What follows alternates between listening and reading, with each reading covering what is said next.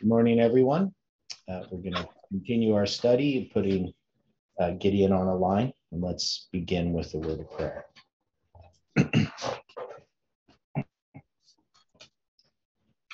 Dear gracious Heavenly Father, we're very thankful to be here this morning studying together.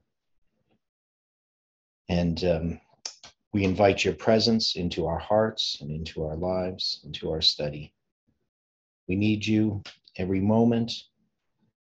And we know that there are many uh, difficulties that we face. We pray for those that are grieving, um, Sister Leona, and also um, Brother Toby. And uh, we know, Lord, that you are always there to comfort us in times of sorrow and to strengthen us in times of weakness. So we just ask that you can help each of us as we go through this day, but especially, Lord, as we look at these studies and handle your word, we need your spirit to direct and, and instruct us. Be with us now, we pray and ask. In the name of Jesus, amen.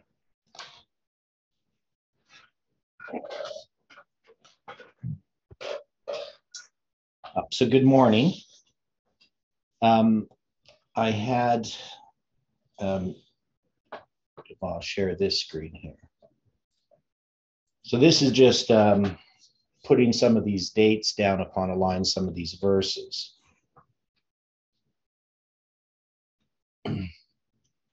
now, what we have here is we had in going through Judges chapter six, we have this this prophet, the message that this prophet has. So we're kind of looking at the judges as a timeline. There's a period of darkness, uh, there's a time of the end. Uh, a prophet has given this message, and he refers back, uh, um, uh, that is, Gideon does, uh, to the deliverance from Egypt, which we looked at, that April 26th date, but I didn't put that on here. And then we have um, Judges 6:11, which we tied to September 11th, but also to November 9th, 2019. That is, we're taking September 11th and we're we're mixing it with November 9th. And hopefully that's clear to people um, why we did that. We spent a lot of time on it. And then there's this preparation of this offering. And we had taken Judges 6, verse 20 and 21 where this offering is accepted, it's given and accepted as a parallel to June 20th and 20, oh, I put should be June 21st. I, I did this wrong anyway. Uh, I did put the wrong verses. Uh, so that's Judges uh, 6, 21, and 22. I don't know why I put, put that wrong, so I'll just correct that. 21, 22, this is 21 and 22. there we go. That's correct now. And then we had Judges 627, and we lined this up with June 27th, 2020. And June 27th, 2020 was uh, 1,260 days from uh, January um, 14th, 2017. So, you know, I probably should note that there. and it's 21 days before July 18th. And then I'm marking July 18th with Judges verse 34 and 6 verse 34. And that's where the Spirit of the Lord came upon Gideon and he blew a trumpet and Abiezer was gathered after him. And in 35 as well. And he sent messengers throughout all Manasseh who also gathered after him. And he sent messengers unto Asher and unto Zebulun, unto Naphtali, and they came up to meet him. And the significance there had to do with Asher, Zebulun, and Naphtali, is that we studied that in connection with the numbering of the tribes of Israel. And we have very specific uh, spans of time for those um, uh, tribes. right. And then what we have and what we looked at for last couple of days was the sign of the fleece. And I'm suggesting that fleece one is the understanding of the um, uh, or the, the examination of the foundation. Uh, yep, Judges. So Judges seven eighteen is also. So I was gonna we're we're gonna discuss that as well. How Judges seven eighteen refers to July eighteen, but we'll come back to that around. So um, so we have the fleeces here, and I put them in as December 26th. Also, that's going to be the, the study that we're presently on, the understanding of the lines. And we started the study on March 7th, 2021, which was examining the foundation. And that study uh, continued for 187 studies. So we did 187 studies on examining the foundation. March 7th is a symbol of the Sunday law in 321. So that's going to be 1700 years after um, the Sunday law of um, Constantine. So, so we're going to examine this. So we put them on the line here, and hopefully we get a bit more discussion. And I know people have saying that they're thinking about this, they're watching it, they're trying to understand it. uh, and, and if we go back to uh, uh, um, so here we have uh, Gideon's 300 men, right? So what we're saying about Judges chapter 7, which also refers to uh, the blowing of the trumpets, right? So I think that's what Iran was talking about, right? And we're going to take that, uh, this story repeats and enlarges um, the story of Judges 6. So you're going to have the trumpets again with July 18. Okay, any thoughts on this? So this is just putting what we had on this line from the last two days, the last few days. So um, Iran is noting that Judges 634 combined, that is, that's the gematria. If you do the forward gematria and the reverse gematria, you get the number two, what was it again? 2187. So that's uh, the symbols of July 18, 2020, those numbers in there. Oh, what's the gematria of which? Of the verse that we're marking as July 18, Judges 34, Okay. 634. So if we look at that verse itself, that's the gematria 2187.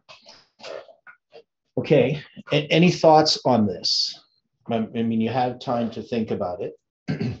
so we have some of these verses symbolizing uh, major waymarks uh, as the symbols of the names of the verse itself. And even Judges 6.11 um, can be a mirror for 9.11 if it's done, if it's like flipped around the other way. Um, but we have it representing both 9.11 and 11.9 right? So it depends if you flip it around, however you take that 611, it can create that, that symbol.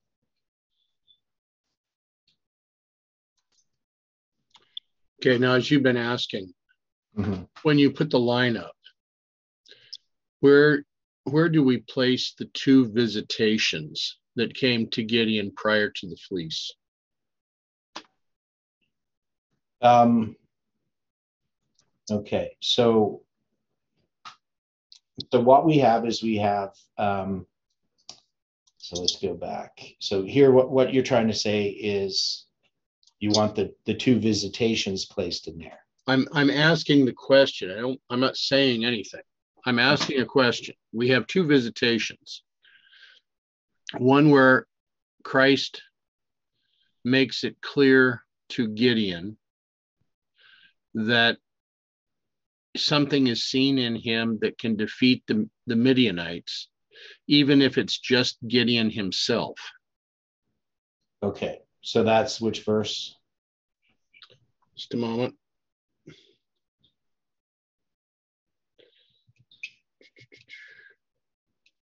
Because, I mean, I have the angel of the Lord came to Gideon in 611. I would I believe that's correct. Yeah. Okay. and then you have a second time. Right. Yeah, because, well, we have 611, 612. Because in 612, and the angel of the Lord appeared unto him and said unto him, The Lord is with thee, thou mighty man of valor. Yeah, but that's just the same time.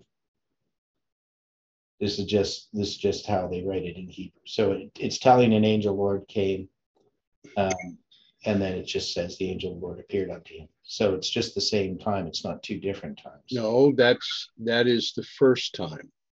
Okay, that's the first time. Yeah, that's what I'm saying. That's the first time described in Okay. those verses. Yeah. Okay. Now, as we as we look a little further, if we come down to Judges 623. And the Lord said unto him, Peace be unto thee, fear not, thou shalt not die. Now, if we take this according to the spirit of prophecy from Signs of the Times, 23rd of June of 1881, Mrs. White states, Then the Lord graciously appeared to Gideon a second time and said, Peace be unto thee, fear not, thou shalt not die. Okay, so that's the second time, and it's June 23rd. 1881. Yeah, and June 23rd is symbolized by 623.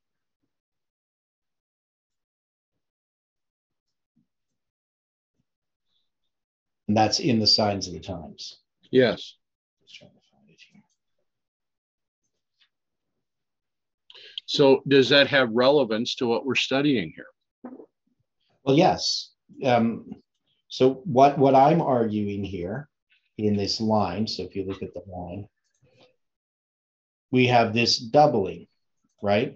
That is, I take September 11th and November 9th as a double, right? Okay. So that's how I would line that up. So you would put both visitations basically to to one point. Well, well, this is two points. This is September 11th and November 9th.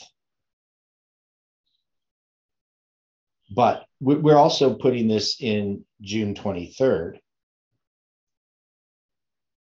Right? So can we connect June 23rd to November 9th as well? I mean, I hadn't looked at it in that way.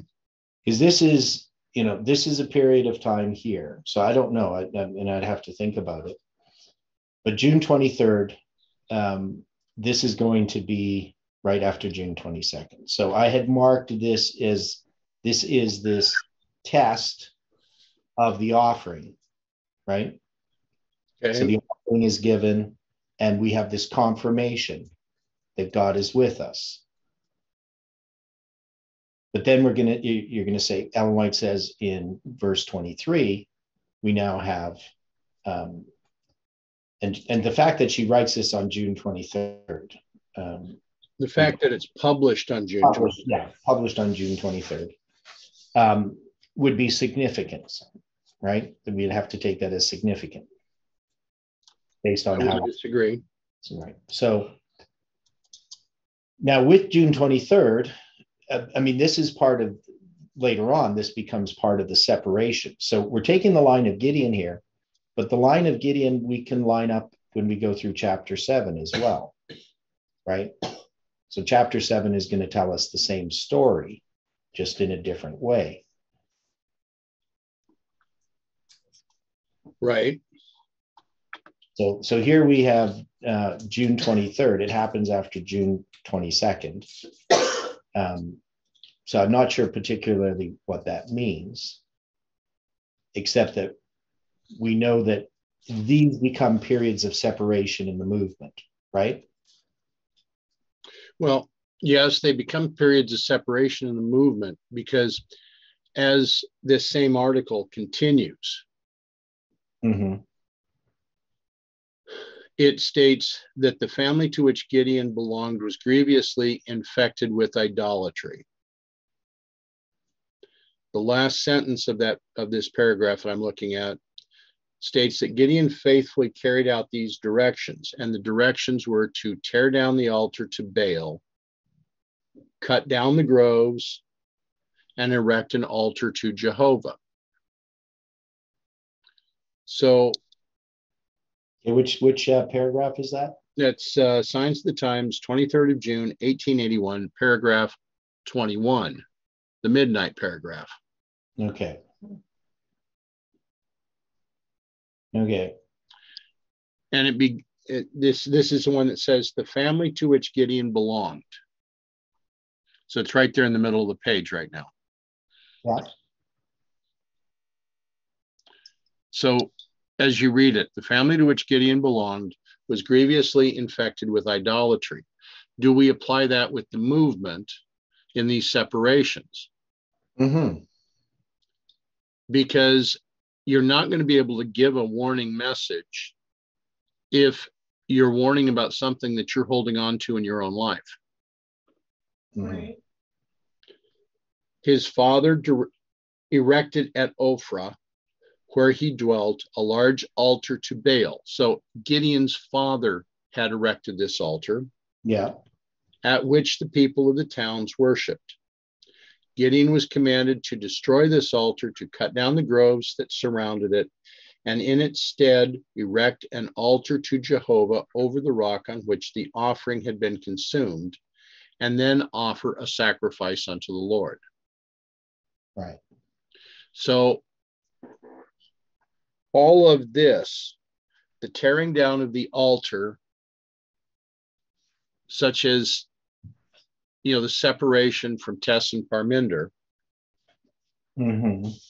Well, that's going to be earlier because in the story of Gideon, it's just the transition occurs in that separation. okay, then is the tearing down of this altar a further separation within the movement? Yeah. So, so the way that I understand this is that what we had app so so even when we go back because i don't have on my line i don't have september 7th and so forth but it's part of that that change that happens with the previous judge so on november 9th we're going to have a message that would be marking um, uh, that separation that would parallel september 11th but that's something within the movement so the movement many in the movement are opposed to time setting right? They're telling Jeff, don't listen to Theodore. We don't want to have anything to do with time setting. We don't want to have anything to do with any dates, right? Um, But see, the, the problem, and this this is what I've seen. It's Yeah. not just that they want nothing to do with any dates; they want nothing to do with any chronology. yes, right. Well, dates are chronology, right? it's not just the future ones; it's even the past ones. Any of the symbols, Or the current ones. right? That that we were totally misled in using numerology. Okay, I'm not I'm not placing it as numerology. I'm placing it as chronology. Now I know, but they call it numerology. To them, the, the They're twisting. The symbolic use of numbers is numerology to them, right? Fine. That we should never have have done that. And of course, and that's the one of the arguments that people kept telling me, the people that I was talking to, and I would just keep showing them again and again how numbers are used in Scripture that we already accept. We accept six six six. Uh, we accept eight eight eight. You know, we accept um, the number 12, you know, and all the different symbols of the number seven. And, you know, at what point do we decide that, well, these numbers that are in scripture that are given to us, that give us all these symbols, um, where do we reject them, right? And even people like um, Larry Lesher, I mean, who really liked what happened with the story of Ezra and the structure of the chiasms, I came came to reject that completely. But he said, no, that was wrong. We can't do that. We can't use those symbols. We can't tie that to Millerite history. We can't take the first day of the first month as a symbol and put it in, you know, Millerite history because it occurred in the story of Ezra. We can't take, you know, we can't take any of that. So they just continued um, to to reject what we were doing with numbers, right? So we have that happening, you know, at, on November 9th. There's a whole group of people um, that are not happy with any of what we're doing with chronology, with numbers. Now, when we get to, um, that's November 9th, 2019. So when we get to the publication of the paper, I mean, there's more happening behind the scenes than I know, because as I told you before, just even getting that web page prepared, uh, there was this strong resistance to anything that I had to say regarding July 18. Right. So they weren't interested in having me present or anything. Originally, I was supposed to be the one getting the web website prepared, like all the text for it. I worked on it for, for weeks, um, spending lots, lots and lots of hours, and they took nothing that I did. And, and mostly mine was editing and getting it set up so that we had good references. When they did it, they had no references. They didn't want any references on their website. And I'm not sure why. Um, so they didn't want it to be directed to anybody else's web page, any like Wikipedia or anything like that. Right? No links, no external links. And then, um, so when this publication happened, there was a large group, and I don't know how many, but they were quite embarrassed about what happened. So instead of looking at this as a miracle, uh, they saw this as an embarrassment. Well, so, I mean, quite honestly, this is very much like the altar had been cut down. Yes, that's that's what I I would see. It would parallel uh, that now now what's going to happen is this altar is going to be cut down, if we want to put it that way. Well, and, the altar to Baal had been cut down, an altar to God had been erected in its place, and those of the city sought to destroy Gideon. Right. Now, part of this is, of course, people in the church have noticed us, but it's people in the movement that really didn't like what happened. They felt that the that it was all done wrong.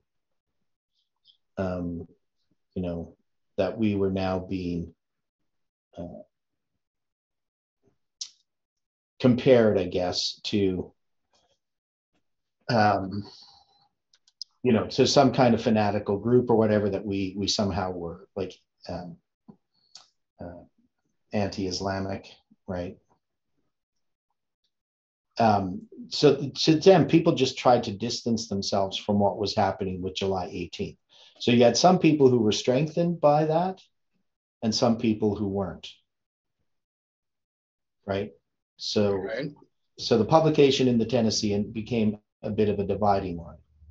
Now, the other thing is this tearing down of the altar is going to proceed. Now, I've marked June 27th as a particular waymark. Now, June 27 is 627, and it's also 276, right? So it's the number of people on the boat uh, in Acts 27. It's 627 BC, and 627 BC is going to be uh, from where the 40 days or 40 years of Ezekiel 4, verse 6 are counted, right? So he lies on his right side for 40 days. That's for the house of Judah. And of course, um, we have Judges 627 that I mark with that um, waymark. And it's also going to be the beginning of 21 days before July 18th. And it's 1,260 days after um,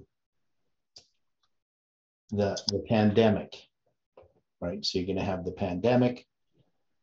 And, and then it's 273 days before March 27th, 2021, which is connected to December uh, 25th, 2021 by 273 days. So, so the 263 uh, or the 267, uh, seven, uh, the 627 and the 276 are tied to Acts 27, which is tied to March 27.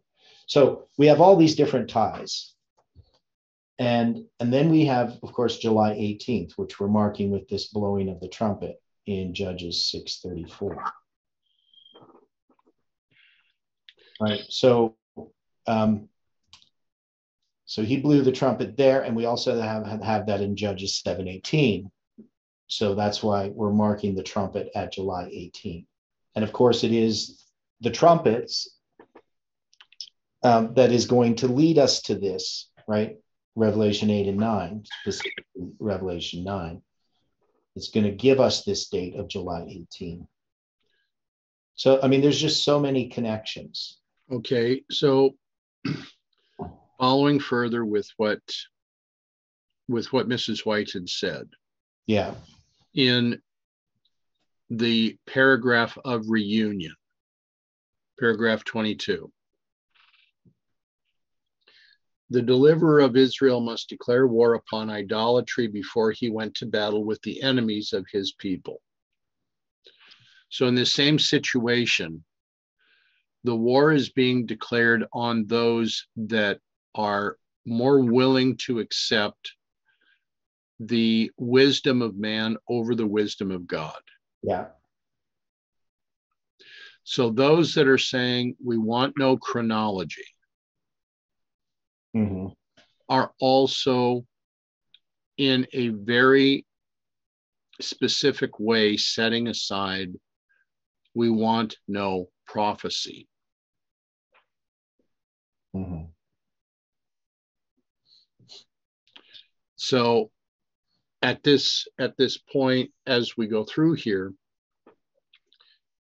Gideon has had to destroy the altar of Baal. Yeah. He's had to eliminate the groves that surround it so that the only thing that remains is the altar to the Lord over the rock where the sacrifice was accepted. Mm-hmm. And, and that and that's June 22nd, where we're really going to see that. And June 22nd is a symbol of FFA. Right. And I'm using June 22nd in this structure where I'm saying that we have these four periods of 777 days. The center of that structure is June 22nd, 2017, and it's connected to the June 22nds that Jeff had marked. And the beginning of that structure, December 21st, uh, 2012, is between those two dates, exactly between those two dates that Jeff had chosen. Right. Uh, so, so we have all of this with June 22nd, but we now have June 23rd, the day after June 22nd, where Ellen White is is giving us this story. And and we're noting these these paragraph numbers 21, 22, and and now we even have 23 which could right. tie us to this as well see i've june 22nd always has stood out for me only because it's my grandmother's birthday okay so in this situation whenever something like this comes up i'm paying attention mm-hmm. now what we're talking about here for paragraph 23 the offering of sacrifice unto the Lord had been committed to the priests and the Levites, and had been restricted to the altar of Shiloh. But he who had established the Jewish economy, and to whom all of its services pointed, had power to change the requirements.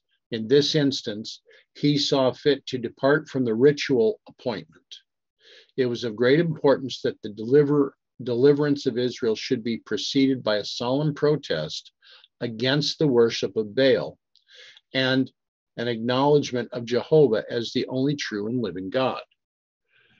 Now, our situation that we came to on July 18th mm-hmm. was that we began to understand more fully that we could not have reliance upon the wisdom of man. Mm-hmm. That our reliance, our sole and total reliance was to be upon God. And that meant that we were going to have to examine the structures examine the chronology just as Father Miller had done. And that if we were choosing that numbers and chronology were to be ignored, then we were choosing to set aside anything having to do with Father Miller. Yeah, well, and also the time setting of the Millerites.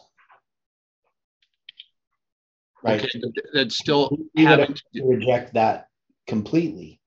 That's still just, you couldn't just get rid of of any of the numbers and somehow, you know, keep October 22nd, 1844 as people right. Mm-hmm.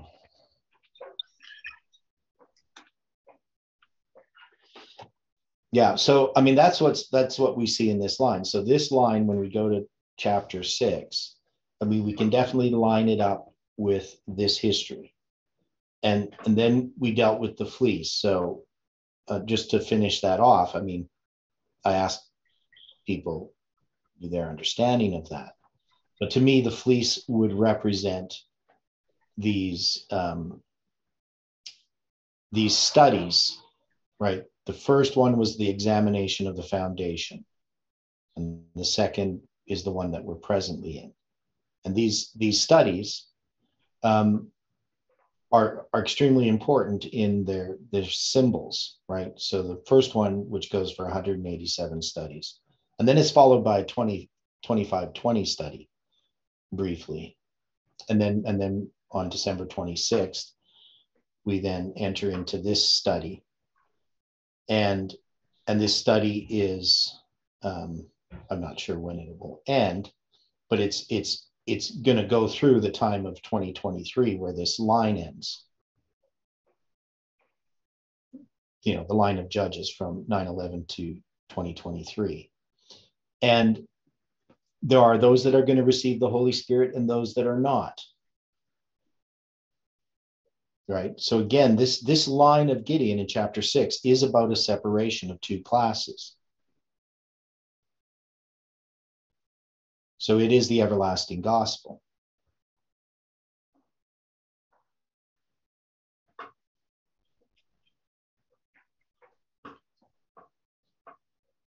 I don't see that there's anything to disagree about. Yeah okay. So then we started on judges chapter 7 so, so we said that Judges chapter seven is going to repeat that that we saw in the line there, and that is, it's a repeat and enlarge.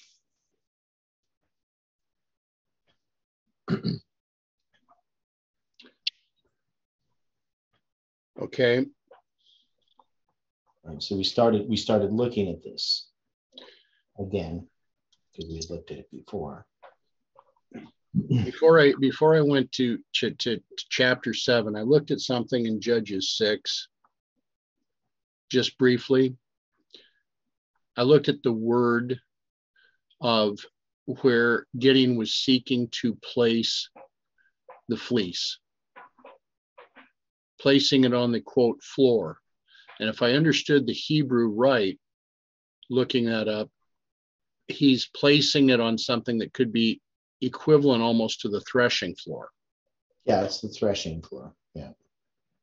Isn't that a fairly open spot? Yeah, well, it's it's a smooth place. It's it's uh, yeah, it's an open spot.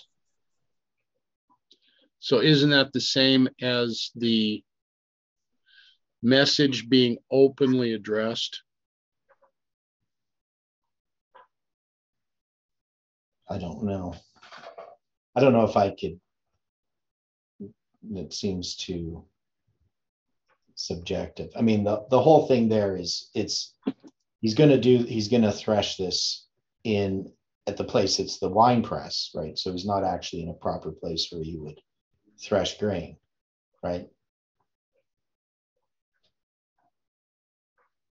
Well, that's where he had been threshing was at the wine press. Agreed. Yeah. Yeah, so he's going to thresh at the wine press, not at at a thresh a proper threshing floor. But he's going to put this fleece out, and and the word that's used there, where, where the ground is is involved, that's going to be eretz, right? So that's referring to the land of Israel, often, right? It's just the general word, but as a symbol there, um, it's 776, the Hebrew number. And so when when we looked at that, here I'll just go back here. Right. So when you looked at this is 776, which is how that chapter is going to end, we know that 776 is one short of 777. Right? Okay. So I, I think it's connected. And that is if you count from uh, November 9th, 1989 to December 25th, um, 1991, it's actually 776 days. So 777 and 776 are tied together.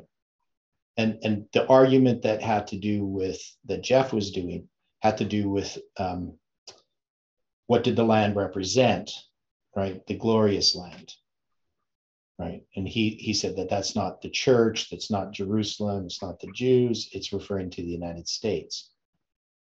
So so that's that. There's this plays a part in understanding of this test.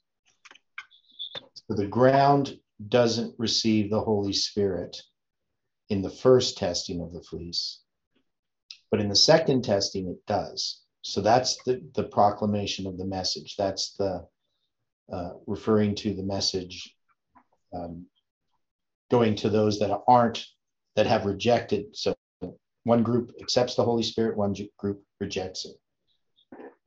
But when the other group rejects the Holy Spirit, the gospel is going to be spread. That's the way that I understand the symbol. So I, I, don't make much about the floor, the word floor being used, other than that it's a symbol of a smooth place. So he's going to lay it out upon a floor. Um, that to me would be um, the main the main symbol that's used there. So that's 1637. It's an open area by analogy. So it's a threshing floor or smooth. The word means smooth.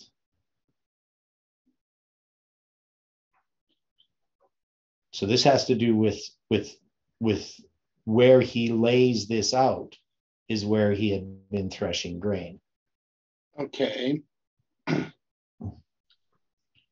So we've laid it out into the open, is what you're trying to say. That's what I'm getting at. Yeah, which which I would agree. So so this message is is laid out, right? This this test is not something that's hidden in a corner. I guess that's what you're trying to say. There you go. Okay. Yeah, so I'd agree there. So once it's laid out, it's there for any to see because it's on a smooth, flat place. It's not something that's difficult. It's something that is placed where anyone that wishes to examine it can examine it and decide for themselves. Yeah, that sets the table, that sets the tone for everything that we're about to go into with Judges 7. Okay. Because if everything is out in the open, if everything is now no longer hidden, then we now have a, a message that it becomes easier for people to say either yes, I accept it or no, I reject it. Mm-hmm. And and definitely we've laid everything out as plain as possible.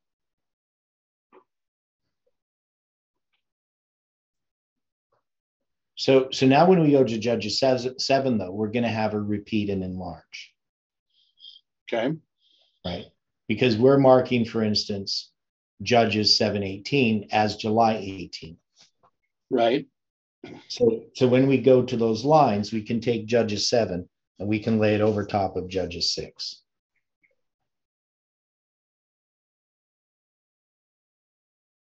Okay.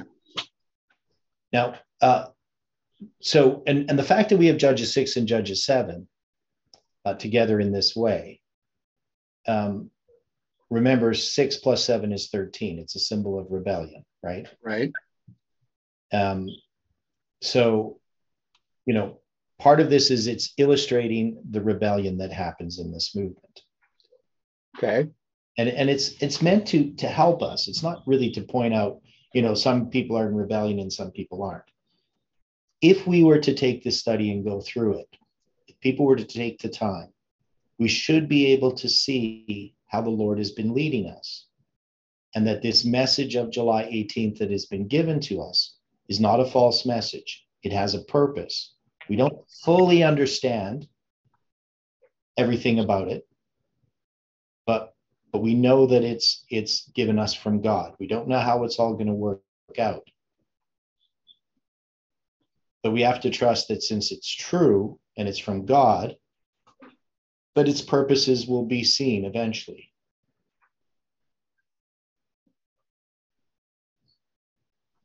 So when we start looking at Judges 7, then, um, we have Gideon now, and now we know that he is he was changed his name or his name Jerubbaal uh, was given him in the previous at the end of the previous chapter dealing with the tearing down of the altar. So he now has two names, right? Okay. So what does that mean?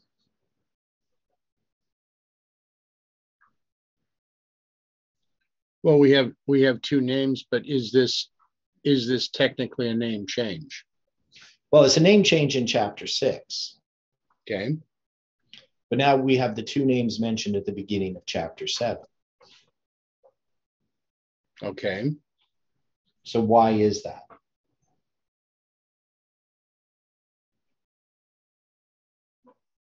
Because you have this transition from chapter six to chapter seven with this name change, right? Because that's um, so if we go back here, where is it? Uh, it's going to be in, in 632. Therefore, on that day, he called him Jerubbaal, saying that Baal plead against him because he hath thrown down his altar. So his name change is connected to the throwing down of the altar. So now, if we look at Judges 7, which is a symbol of perfection or completeness, we see that we have this, this name change being mentioned right at the beginning. So, what does that mean?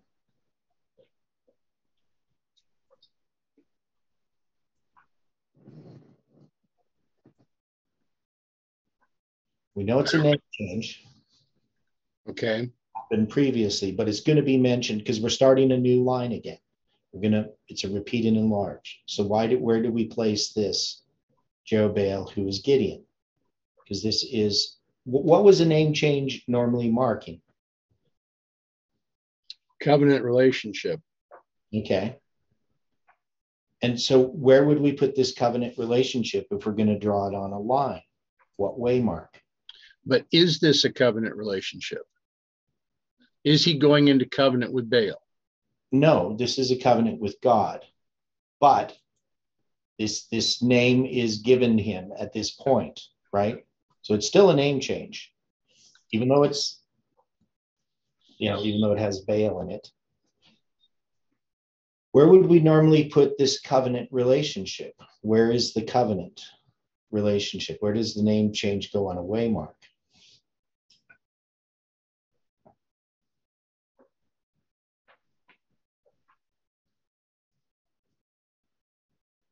I hadn't considered this in that manner. Okay. Well, we've had name changes before. Right. Where But- did where where did we place them? But those name changes, like that of Jacob to Israel hmm or Abram to Abraham, were given as a name change between the party and God. Yeah, but not every name changes. We we've noted lots of name changes that have nothing to do with the between the party and God. I, you know, I recognize, you know, like Daniel, was given a different name, so were mm-hmm. his friends. Yeah. But these were to give symbols to the pagan gods. Right. I understand. And same with Jerubbaal. But this is because Gideon is conquering Baal. Right? I understand. I, I'm understanding your point about him conquering Baal. I'm just, I'm having to wrestle with the point of this being a, a name change to show a closer relationship with God. Well, uh, the point is, it's a name change that is a waymark. Where do we place name changes as waymarks? After significant events. Okay, well, what significant events? Well, I mean, they're not just name changes, just aren't sprinkled willy nilly throughout reform lines. I would say that the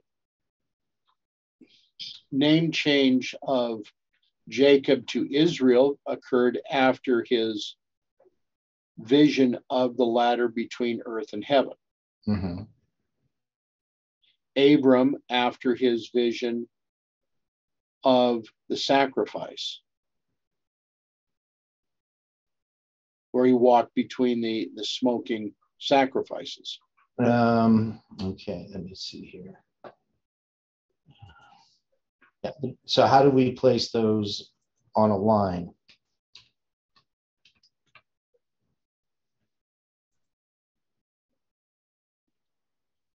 Yeah, he's going to be called Abraham uh, when at the circumcision, the covenant of the circumcision. But wasn't he called Abraham about Genesis 15? No, it's Genesis 17. Okay. Right. He's called, so he's still called Abram in Genesis 15, but it's in Genesis 17 that we first get the name Abraham. Okay. That's in 17, verse 5. Neither shalt thy name anymore be called Abram, but thy name shall be called Abraham. For of a father of many nations have I made thee.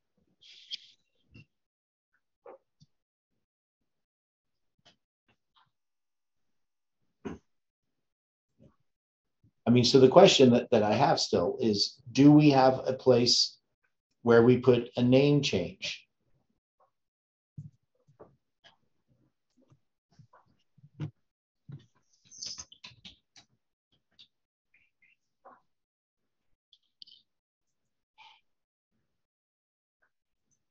I'm trying to figure out how to give you a direct answer. I would say that yes, there is, but I can't say exactly how. Stephen, do you have any insight on name changes? Well, considering Jacob, it was uh, that occurred when an angel came down. Okay. Namely Christ.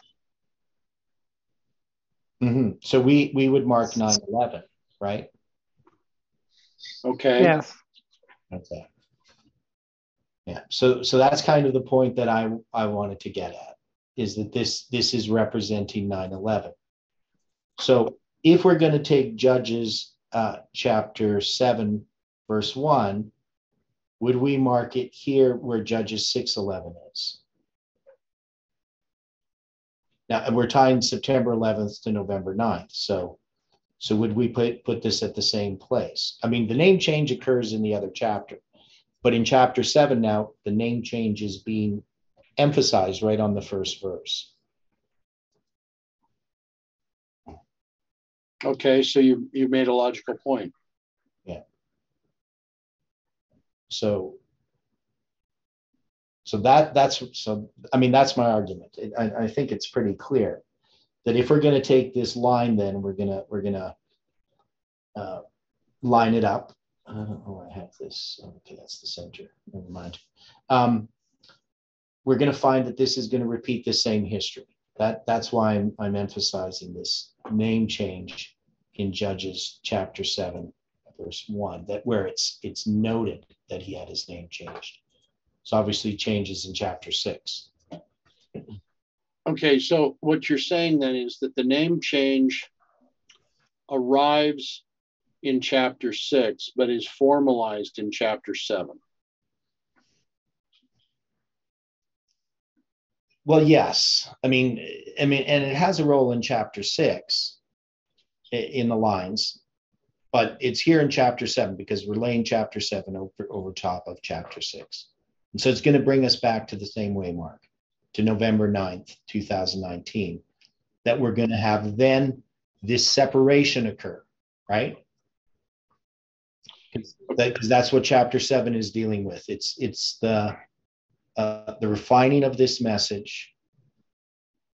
It's uh, you know we've we, looked at it as the the whittling down of the the numbers within the movement but it's really specific we're taking the story of gideon specifically applying it to this whole line of the judges because we're saying that the judges illustrate the history of this message from nine, from September 11th all the way to um, 2023.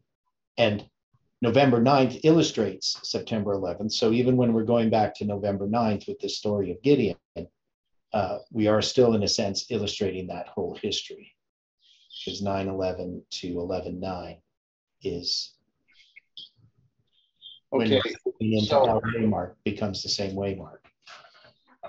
With with what you're what you're saying here, and the way that I'm being led to ask the question,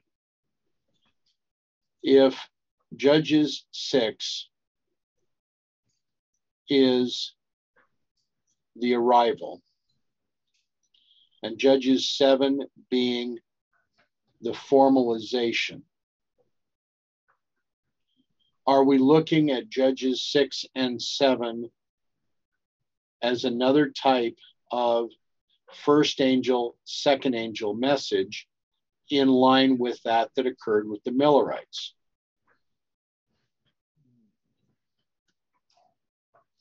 I don't know how we could do that. I mean, I, I, I look at Judges 6 and 7 as parallel. So they're not, um, I mean, you could say that the first angel parallels the second angel but we've actually placed specific dates for Judges 6. And Judges 7 is going to cover those same dates, or at least some of them. But it's, illust- them, yes. it's illustrating something different than Judges 6 is. Agreed, but that's also the situation that we have with the first and the second angel's message.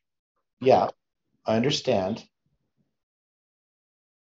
Because when we got into this, and we looked over the Millerite time frame. Mm-hmm. By the time the second angel's message had arrived, you had a major separation that had already been going on. And further separations occurred. Yeah. So I'm, I'm, you know, obviously the first angel illustrates the second angel. It's just here, this movement is the second angel's message. It's not the first angel's message.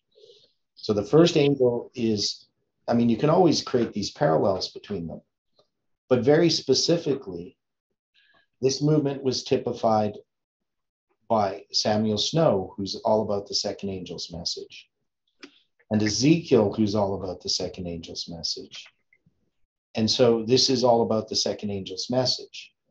So even though the first, first angel can illustrate that, um, I wouldn't look at this as you know the first and second angel's message. Now we could look at a formalization and a power uh, empowerment of the second angel's message.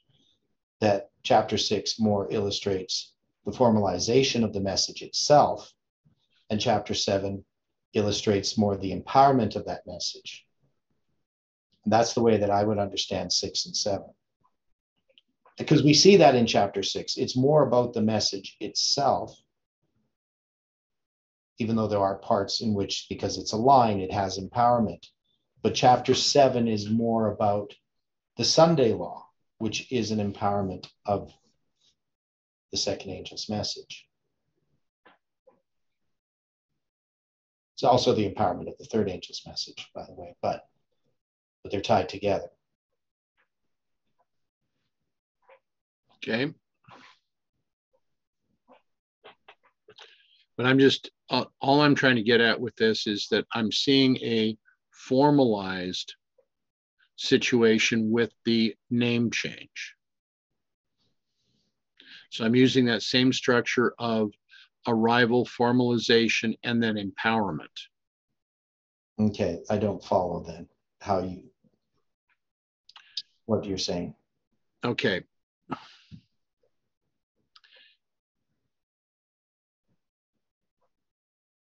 We're saying that the name change occurs in Judges 6, but is not openly addressed until Judges 7. So it arrives in Judges 6. It is formalized, openly addressed in Judges 7. And then his empowerment becomes this where he then understands that he is to be the defeater of Baal. He is the one that's to, to be the anti Baal, that is to stand for God. Okay, so so you're going to say that six, seven, and eight just represent the the arrival, the formalization, and the empowerment. Well, just like the the arrival began to had occurred within six, but was not formalized until seven, I would have to say yes, with with eight being the the for the empowerment. Yes. So you're just so you're not saying that this is the first, second, and third angel's message. You're saying this is the formalization, the arrival, formalization, empowerment. Right. Okay. Um, I'd have to think about that one.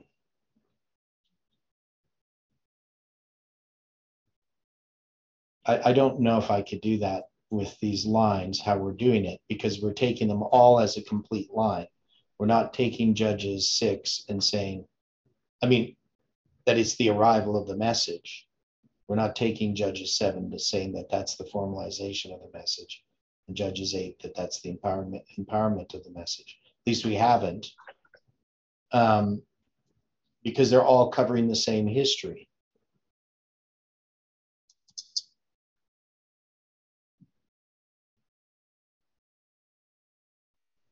Well, here again, when we start with Judges 7 1, the verse reads Then Jerubbaal, who is Gideon, and all the people that were with him rose up early and pitched beside the, wall, the well of Herod or Harod, so that the host of the Midianites were on the north side of them by the hill of Moreh in the valley. Mm-hmm. And the Lord said unto Gideon, The people that are with thee are too many for me to give the Midianites into their hands, lest Israel vaunt themselves against me, saying, Mine own hand hath saved me. Is this not a test? And was not the formalization of the message of the first and the second angel also a test during the Millerite time frame? Yeah, except that's not what's being illustrated here. What's being illustrated is 9 11. So 9 11 is just as much a test for those still within the corporate church and those that are beginning to really become part of the movement. Uh, yeah, I don't understand what you're saying. I, I don't understand how the formalization uh, has anything to do with what you what how we're putting this line out. This is just all I'm looking at is we have this name change that's mentioned again, and that's going to bring us back to November 9th, 2019. And so that's starting a line again, the same line we already did in Judges 6. So I, I don't know what you're saying. It doesn't make any sense to me. Okay. That's that's all I'm saying. I'm sorry that. I, I don't. I, would say I wouldn't even use the word formalization and arrival of dealing with this name change because they're they're two different lines. They're not like two different descriptions of the same line. And, and they occur in different places, but it's here in Judges 7, verse 1, that we have this name change that is going to tie us to September 11th or November 9th. And it just gives us a starting point so that when we go through Judges chapter 7, we can see it's going to be illustrating the same history that was already illustrated. Now, the name change comes as a result of um, in, in chapter six because of the tearing down of the altar. Right? I'm listening. Okay. So so now when we when we look at it in, in Judges 7, it's showing us the character of who Gideon is. And we already have acknowledged that November 9th is is about basically addressing the problems that we had with this idolatry that existed within this movement. So, chapter six is going to address that. Chapter seven now is going to address the same history, but in a different way. Right? Because this isn't now about the removal of idolatry in chapter seven.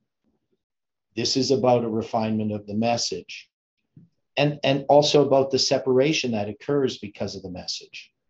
And this is going to be the history from November 9th to 2023.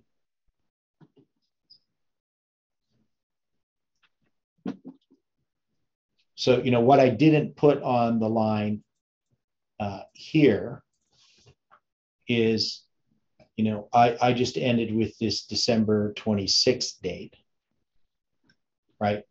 But actually, this whole line uh, of chapter six does lead us to 2023. So, so we'll we'll see that, but I, I left it out for now because we'll see this more clearly in chapter seven.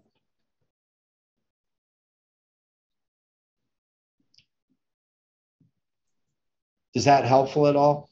I mean,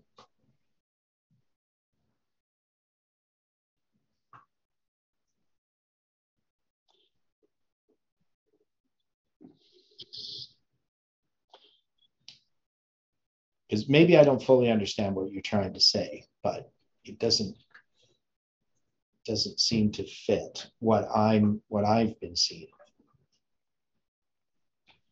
I think we may be coming at the same point from a couple of different perspectives, but we're trying to say the same thing. Yeah. Yeah, I just don't see that judges six, seven, and eight represent the arrival, formalization, and empowerment of the message. Not in the way that we're making this application to this movement, because they're all, I mean, you could say that every time you zoom into a waymark, you have another line. So, I mean, we could say that, and maybe that that's correct. But I, I don't know if I would take the naming of uh, Gideon as Jerubbaal as a point that would illustrate that. Um, so but you know it may just be you know I i'm not seeing what you're saying.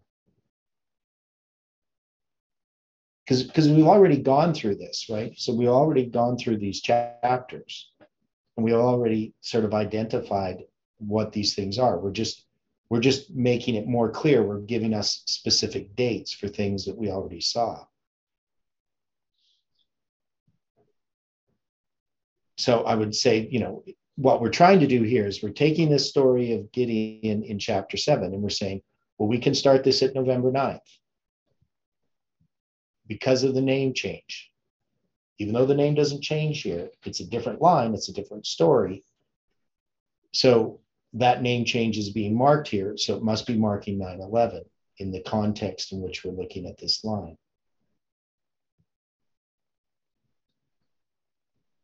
Right? And then we're going to have this separation. So with November 9th, like if we look at Judges 3, now therefore go proclaim in the ears of the people, saying, Whosoever is fearful and afraid, let him return and depart early from Mount Gilead. And there returned of the people 22,000, and there remained 10,000.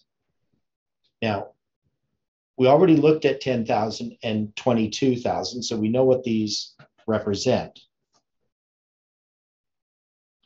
But can we mark a separation that occurs in November 9th that would represent this separation?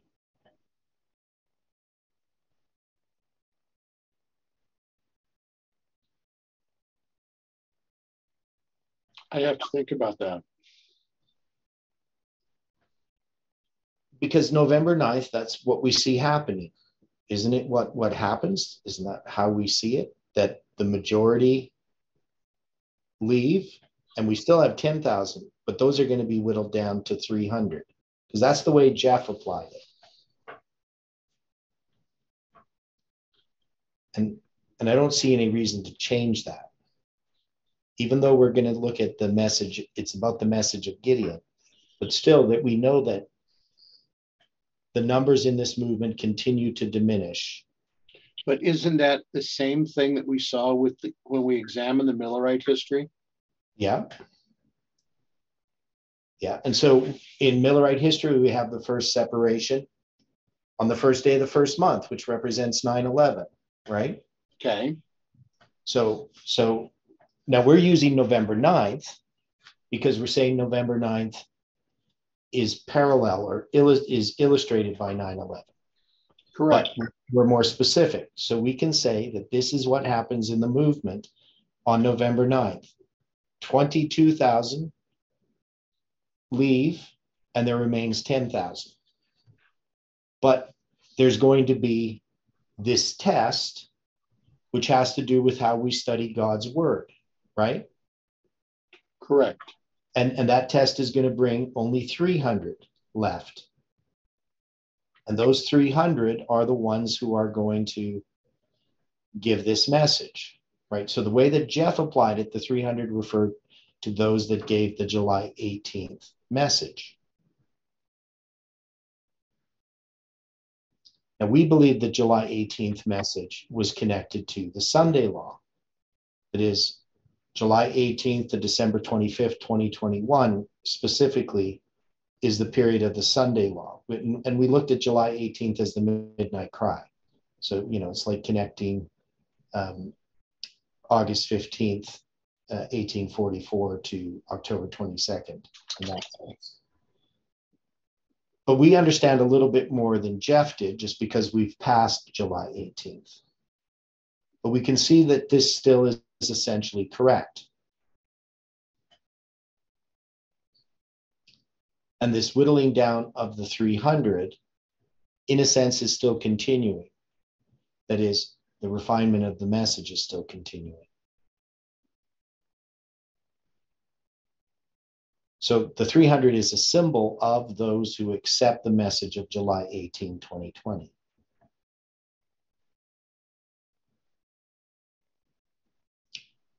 And who give a message to the Levites, because we said that the number 300 is the same as the number 273.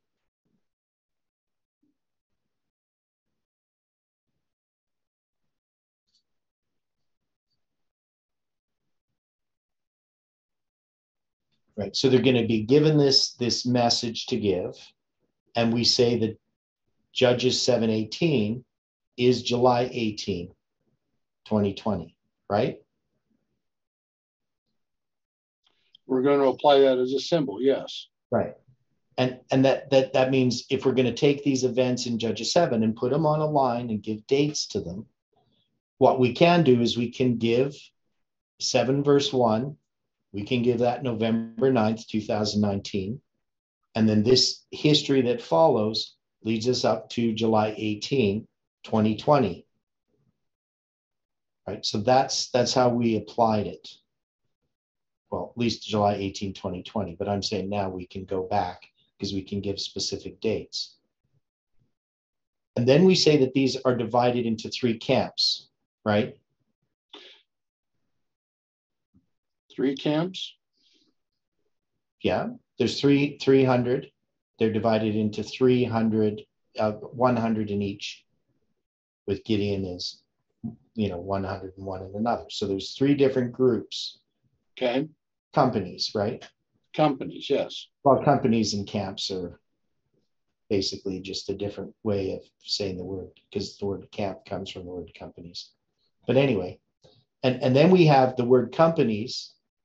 Um, now here it's kind of interesting because it in this word that's translated as companies, it's actually the word Rosh. So it, it doesn't really even use the word companies, three heads. And the three heads blew the trumpets and break the pictures, pitchers, right? Um, so I'm not sure why why they translated as companies, but I mean that's obviously the idea because we know that each of them have these lamps and and pitchers and trumpets.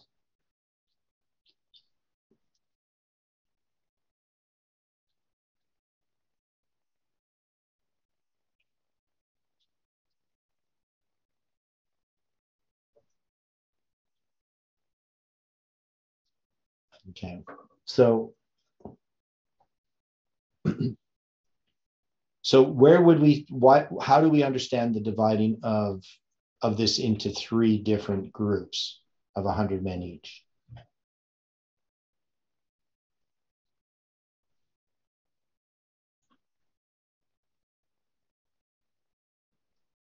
How did we apply it before?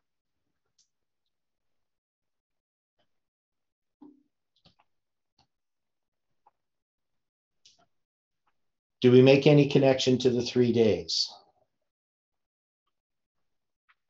That was one of the points we started to try to make, yes. Yeah. Yeah. So we're saying that this this represents the three days. So we had already understood a long time ago from July 18 to December 25th, 2021. We had we had marked this as a period that would be equivalent to the three days. At least that's how we first looked at it right? So when we were doing the study on the three days and we came to uh, looking at um, the 20th day of the ninth month with the three days that are there, uh, we can we can take July 18th as representing this period of time in which this movement is tested. Are we going to come to Jerusalem to address the separation of of the strange wives, right? But then there's going to be given a period of time. So they, they get three days to come to Jerusalem, and then we're going to have, um, they're going to set up this, this um, court or whatever to do this judging, to deal with the civil uh, separation from these um, from the, the, of these marriages, of these divorces, right? And it's going to begin on the first day of the 10th month and it's going to continue to the first day of the first month. So we've addressed that in, in a chronology. But I'm saying that these three, the number three being used here, um, would be a reference to that, to that symbol of the three days.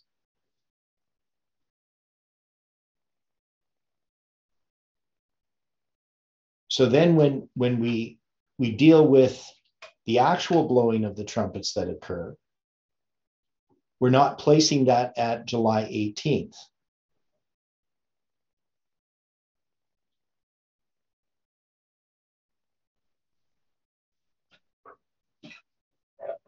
That this is something that happens after July 18th. Even though we have the blowing of the trumpet as an instruction, and we have the blowing of the trumpet in chapter six as marking July 18th. What's now being described when Gideon defeats Midian is something else that has to do with internal within the movement. Isn't that how we've understood this?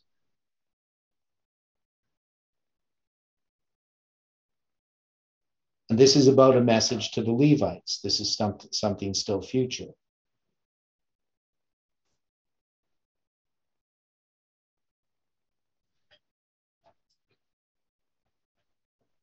any any thoughts about this? Or am I just plowing through with, you know, with my own thinking? Or people understanding where we're going with this?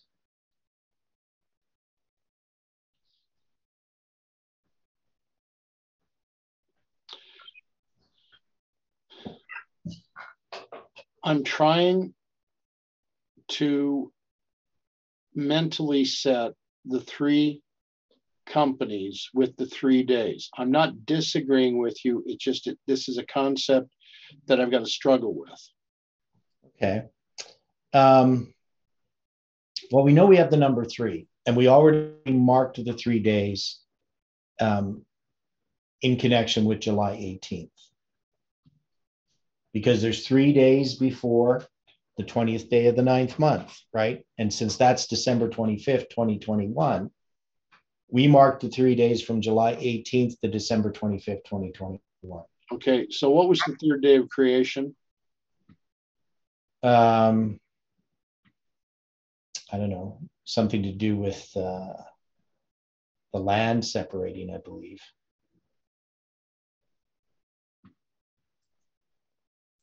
Thought that's what it was.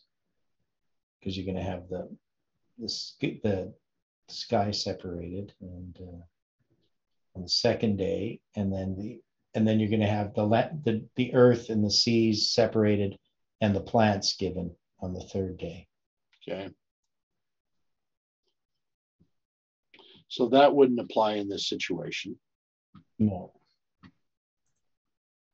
No, but but when we looked at three days, I mean, we saw this symbol. It was, uh, I mean, Christ, the th- the third day being resurrected.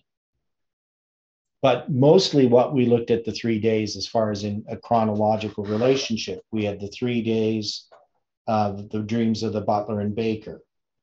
We had, and and but more specifically, we had three periods of three days in the story of Ezra seven to ten right? The three days at the river Ahava, the three days after they get to Jerusalem until they give the gold and silver to the temple, and then the three days call to repentance in chapter 10. Right, so on the 20th day of the ninth month, that they have to come. So, so that happens after three days, and so that's December 25th, 2021, so that's how we understood the, the three days. And, and I don't think, I don't see any reason to change that.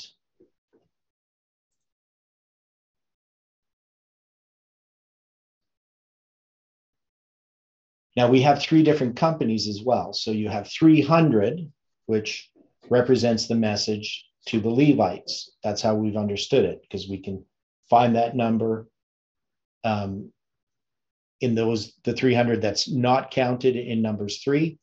And ellen white refers to the 276 on the ship from which we get the 273 she refers to it as 300 so we can we can relate this message as the message to the levites.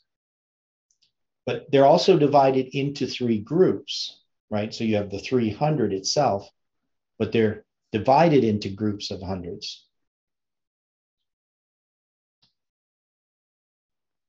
And why is that? What, what would that be illustrating?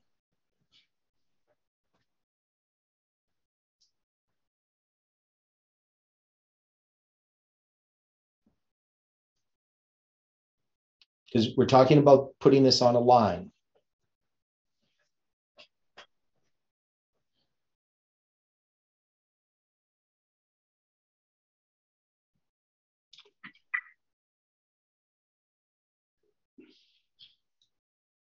And, and who's he going to be calling?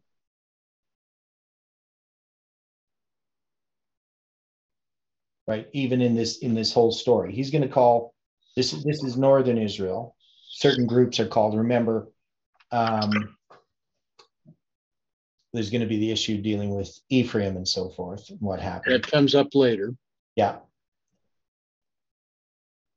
I mean, it it's addressed again at the end of chapter seven, but it comes up in full in chapter eight. Yeah. And, and we know that when they defeat this camp of the Midianites, that they're going to be joined by all the men of Israel gathered themselves together out of Naphtali, out of Asher, out of all Manasseh, and pursued after the Midianites.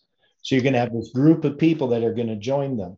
So even though the 300 go into the camp of the Midianites, of some of those that had been separated earlier, they're going to join them, right? Right. Okay.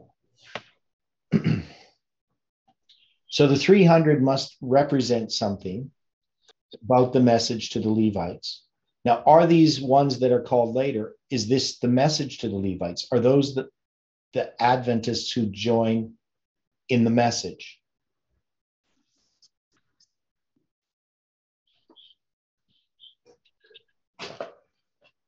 Those that get angry because they didn't see themselves as being, you know, called first, even though they were called. Well, that's going to be Ephraim. But as far as Naphtali, Asher, and all of those of Manasseh that join, then now Gideon's going to send messengers throughout all Mount Ephraim, right? He's going to invite them, but they're going to later say, well, we weren't invited. Because they weren't invited initially in, in that group that came um, of the what, the 3,200, uh, 32,000, I mean, right? Okay because they're going to be divided. So you get the 22,000 and then there's 10,000 that remain. Right. And that word remain is a remnant, right? There's 10,000 in the remnant. We know that 10 is the symbol of the remnant. But um, I know I'm jumping around here, but I'm just trying to get through this. So then we're going to have um, all these people come and then they're going to follow um, they're going to capture these two princes oreb and zeb right? And then in chapter 8 you're going to have zebah and zalmunna. Right so these doublings what would they represent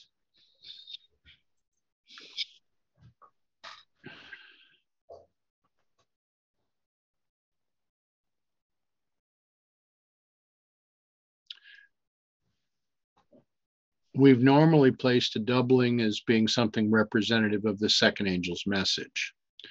But you've midnight, got some. Yeah, midnight in the midnight cry. Right. So this would have to be that. So if we're calling the the Levites, aren't they called in connection with midnight and the midnight cry? Very possible. Yeah, that's that's how we've understood it before. And so what this is showing in chapter 7 is that the message of July 18th is connected with the calling of the Levites.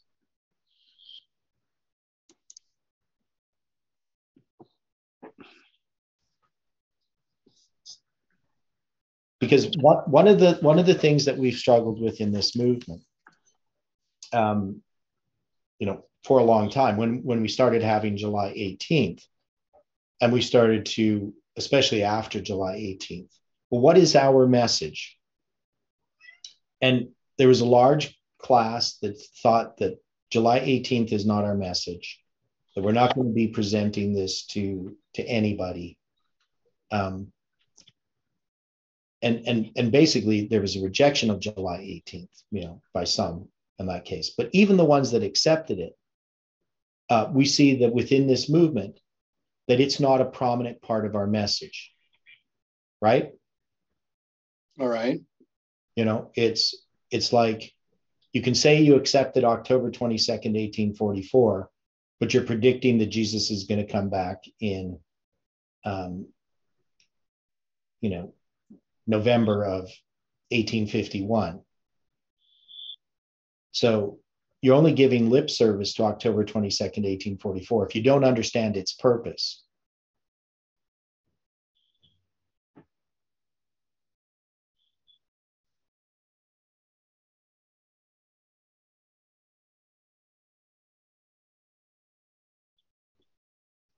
So, so, this message that we have had, everything that has happened in this movement, is part of our message to the Levites.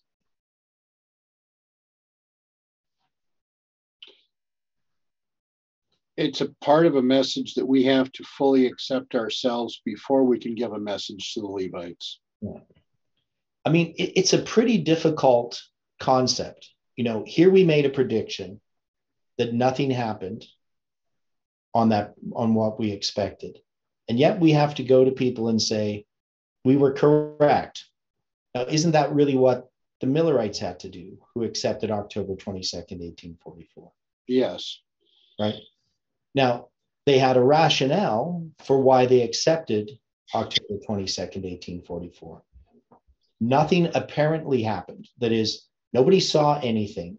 You can't look at October 22nd and say, you know, Christ moved from the holy to the most holy place, except by understanding scripture. Right? Doesn't matter that Hiram Edson had a vision in the cornfield. That doesn't mean anything to anybody.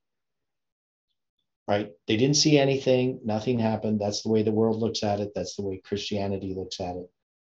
It's the way many Adventists look at it. We were wrong. It's just the wrong date. Nothing happened. Same thing with July 18th. But the Millerites went forward with a message that something did happen in heaven. And we have a message that something happened as well.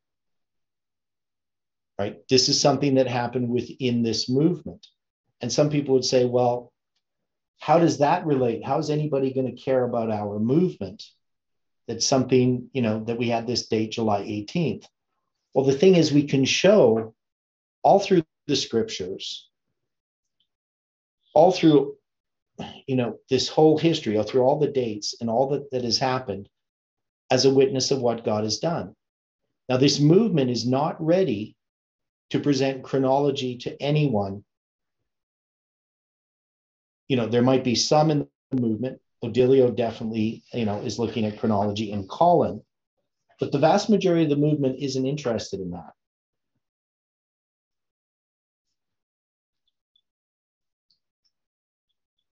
right?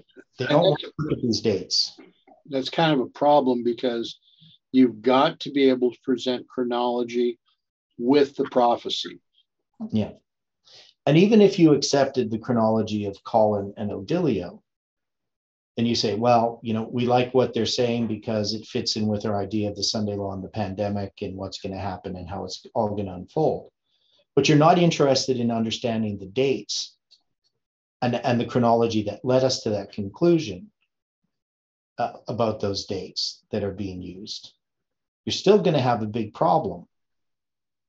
Because when something doesn't happen, you can just throw it all away because you have no foundation upon which you have uh, built your prediction.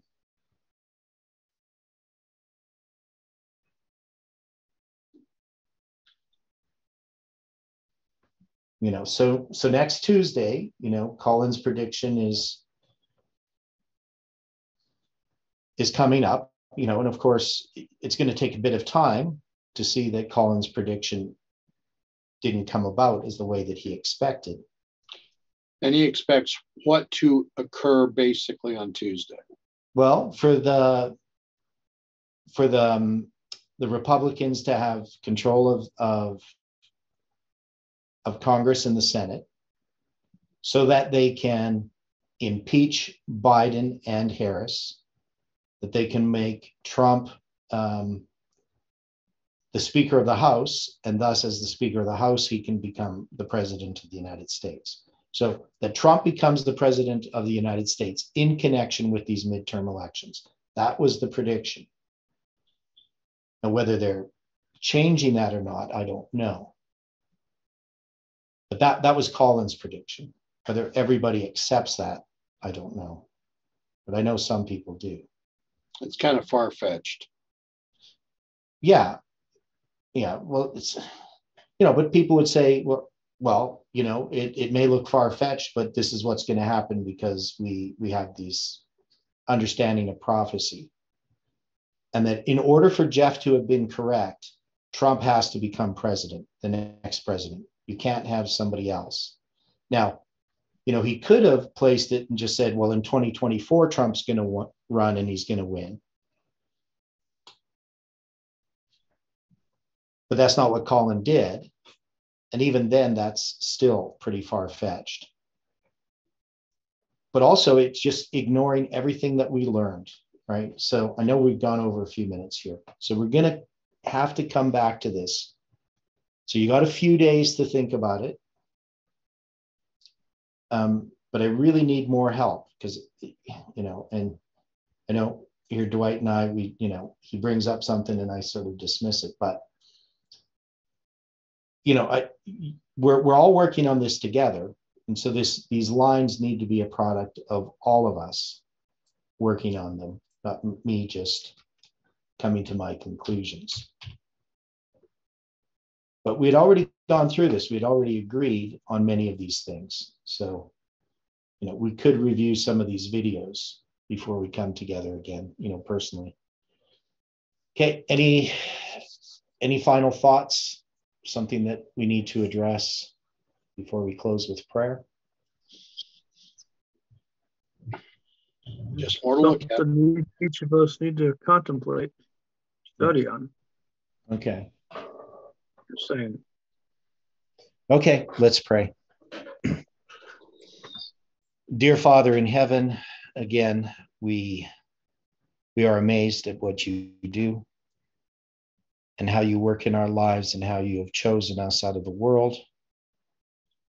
And we look at ourselves and our insufficiencies and we marvel. But we know, Lord, that you are leading this movement and you have a purpose and a plan for it. That we need to come to that upper room, that self has to be crucified and set aside, and that Christ has to live within. Help us to understand um, how all of these things relate to us presently.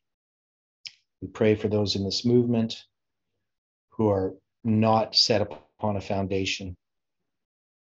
And we just pray, Lord, that um, they still can be saved, that they will be able to follow the truth, and that they can um, accept the failures that we all experience. Be with us uh, throughout this day until we meet again tomorrow evening to study. And we ask this in Jesus' name. Amen.